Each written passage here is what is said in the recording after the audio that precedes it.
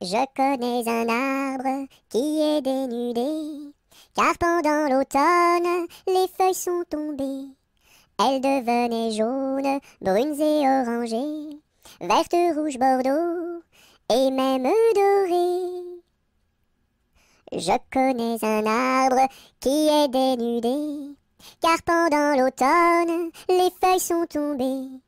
Elles devenaient jaunes, brunes et orangées, vertes, rouges, bordeaux, et même dorées.